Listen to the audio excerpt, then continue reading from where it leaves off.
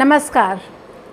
आज हम बात करेंगे हमारे को कौन से जोन में किस तरीके की पेंटिंग क्यों लगानी चाहिए।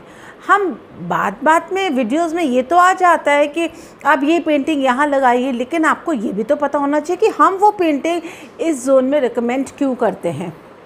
जैसे कि मैंने पिछले अपने वीडियो में ये बताया कि नौ तरीके की पेंटिंग कौन से जोन में होनी चाहिए?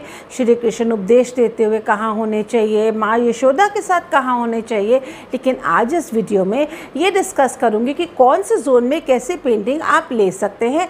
जब आप अपनी खरीदारी करने जाएँ तो आपको बहुत आसानी होनी चाहिए। और जैसे कि आप लोगों को मालूम है कि मैं आप लोगों की महावास्तु कंसल्टेंट पाँच साल से भी ज़्यादा, बहुत चीज़ों में क्लैरिटी देते हुए आज इस बारे में क्लैरिटी देने आई हूँ। अब हम बात करते हैं जोन्स की।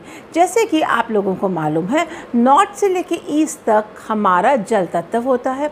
यहाँ पे हम वाटर के रिलेटेड पानी के रिलेटेड हम अपने पिक्चर्स लगा सकते हैं, जैसे कि वाटर फाउंटेन या फिर अगर हम बात करते हैं कहीं पे झरना हो और पानी कहीं से गिर रहा हो, या फिर कोई एक बड़ा समुद्र, यहाँ पे इस तरीके की पेंटिंग आ सकती है।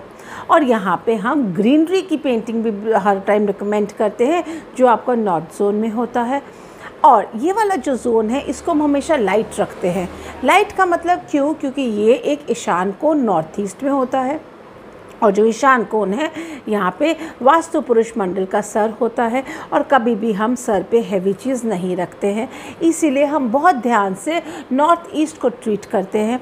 तो इसीलिए यहाँ पे आप वाटर रिलेटेड पेंटिंग्स रखेंगे और क्या नहीं रखेंगे, आप यहाँ पे कुछ पहाड़ या फिर येलो कलर की पेंटिंग कुछ आग के रिलेटेड कुछ आपके वेपन्स के रिलेटेड या रेड कलर की पेंटिंग्स यहाँ पे नहीं आएगी। अगली मैं बात करती हूँ ईस्ट डायरेक्शन की। यहाँ पे उगता हुआ सूरज की पिक्चर आप लगा सकते हैं और जो उसका फ्रेम हो, ध्यान रखिएगा, वो ब्लैक या ब्राउन में हो सकता है। अगली मैं बात करती हूँ साउथ ईस्ट जोन से लेके साउथ जोन तक। ये जो हमारा जोन होता है, ये हमारा अग्नि तत्व का होता है और जो साउथ ईस्ट का जोन होता है, वो एस्ट्रोलॉजी के हिसाब से हम उसको लेडीज़ से रिप्रेजेंट करते हैं। तो यहाँ पे आप हंसती हुई लेडीज़ के पिक्चर्स लगा सकते हैं। बहुत सारे लोग अपने घर में लेडीज़ के पिक्चर्स पोर्ट्रेट रखते हैं। ये वाला जोन बहुत अच्छा है। जो साउथ का जोन है, यहाँ पे आप रेड कलर के फ्लावर्स बंच ऑफ़ फ्लावर्स आप यहाँ पे रख सकते हैं। अब आप ये जानना चाहेंगे कि इस, इसका जो हमारा फ्रेम होगा, वो कौन सा होगा? यहाँ पे आप अपना फ्रेम ग्रीन कलर या ब्राउन कलर का रख सकते हैं और आप यहाँ पे येलो भी रख सकते हैं। अब हम अगली बात करते हैं साउथ वेस्ट जोन की। ये वाला जो हमारा जोन होता है, ये पृथ्वी तत्व से रिलेट होता है। यहाँ पे हम भारी सामान रख सकते हैं। अब, अभी तो हम पेंटिंग्स की बात कर रहे हैं तो सामान का आप सोच रहे होंगे कि सामान कहाँ से आ गया? भारी का मतलब माउंटेन्स भारी का मतलब बड़ी बड़ी लंबी लंबी बिल्डिंग्स यहाँ पे आप इस तरीके के पिक्चर्स लगा सकते हैं। और यहाँ पे आप अपने हस्बैंड वाइफ की पिक्चर तो लगा ही सकते हैं।